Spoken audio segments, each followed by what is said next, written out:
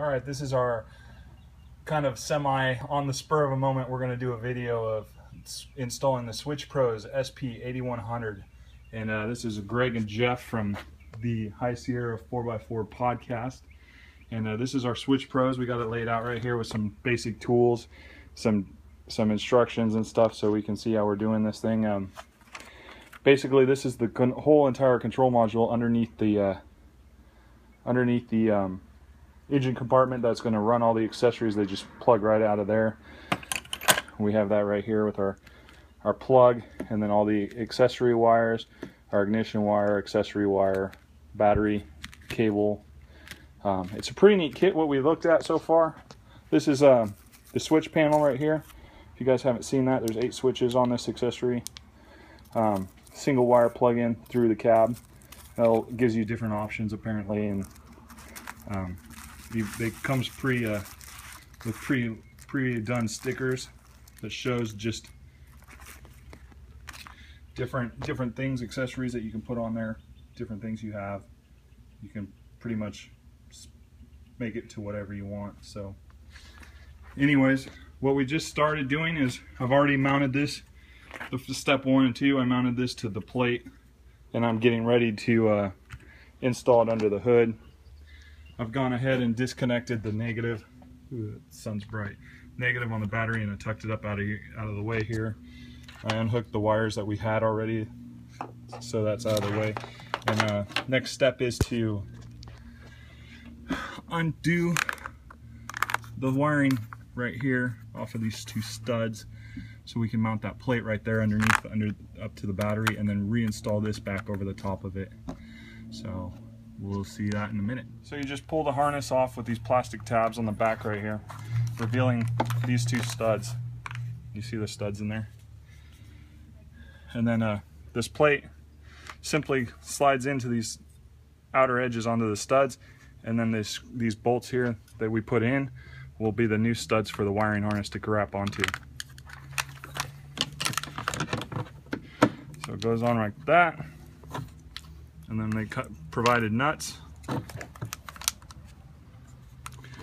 We'll then attach over there nylon nuts to hold that bracket on the back. And then I left my wrench over on the table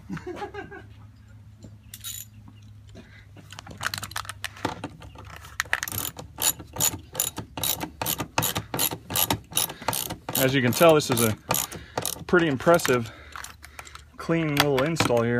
Nothing, nothing massive underneath the hood on the firewall. Keeps it nice and clean. I, I like it. Greg and I were just commenting about it.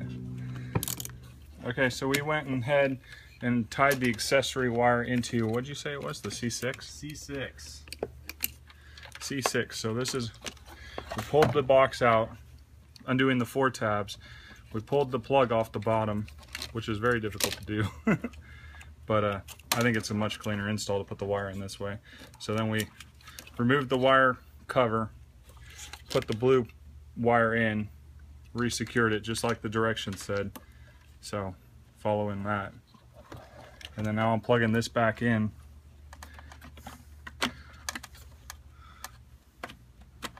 Back into the bottom of the box, locking it back in place like so. And then reinstalling this guy back down on the tabs until it locks in. And there's our wire for our accessories now. And we will be tying that into this blue wire, cleaning it up a little bit. So, so I ran the blue and yellow wire into a sleeve and I ran the sleeve around and back along the, the side of the fender in here underneath and then I came out and I teed out the blue line with their uh, supplied butt connector and butt connected it into the wire that we had plugged into the plug. So that's that and then the yellow wire we ran up and tied into the fender light just like the instructions said. And that's all tucking this right back down up in here. So we got, all right, we're jumping around a little bit here, but I just pulled the uh, piece of trim with the two, the two mirror supports out for over. We're going to hang the bracket right there. I just drilled a couple holes. Uh, we've got it tilted to go in line with the mirror.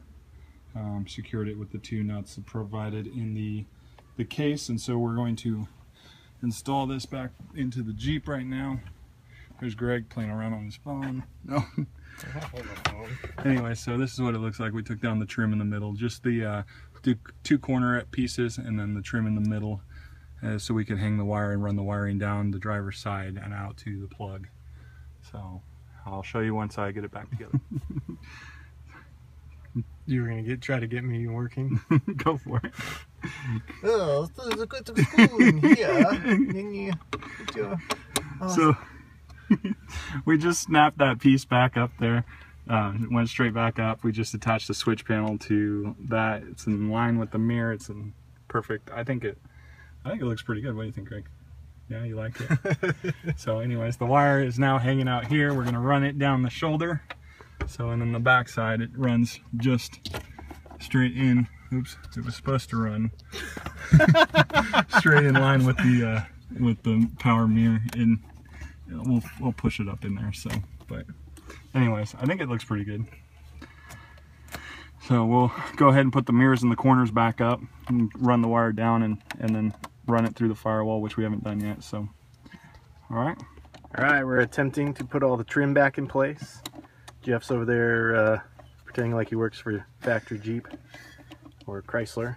But other than that, just have one other side left to go. And there's the switch panel in the center. What's that? I said the screw hole didn't line up. Alright, so we just finished putting all the trim back up. I know I'm doing this video in little sections as I do things because Greg won't hold the camera, but whatever. So all the trim's back up. I got the wire running down. And then I took the side panel off the dash here. And this is the plug right here. So we're going to go ahead and run the plug in from the, the engine compartment um, into the driver's side, just like the directions said. As soon as we get that the plug the feeder plug pulled off and pushed through and then we'll hook that up plug that in and it'll be the plug will be accessible behind the uh, that panel right there. So all right on to the next step.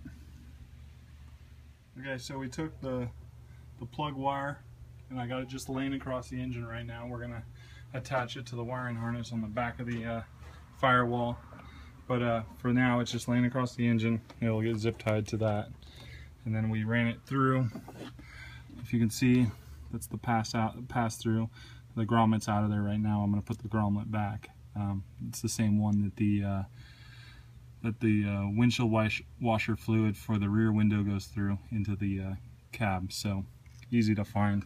And I just basically what I did is I took the grommet took it and cut it cut it along one side so I could take it out. And then we'll clamp it around the wires push it back in and it will be one piece again. So I made it a hole a little bigger there. It's a little squared out on one side for the wires to fit through. So I'm going to put that back in right now. And then as I come around the door through the panel, where Greg is, there are the two plugs right there. We're going to plug them together. And then they will be, they'll be right inside that panel right there. So it all worked out really well. All right, so we're done for now. We've got extra wiring wrapped right up there next to the battery so that we can add all our accessories as they come in. We've zip tied the wire along that back uh, channel so it's all out of the way. Everything's buttoned up, nothing's going to get damaged, and it's all put away nicely. And then uh, we've completely finished the interior, putting it back together. And then he's got the light bar. So far he only has two of the of the plugs done. Uh, the sun's coming in kind of bright, but anyways, there it is mounted up there above the uh, the mirror.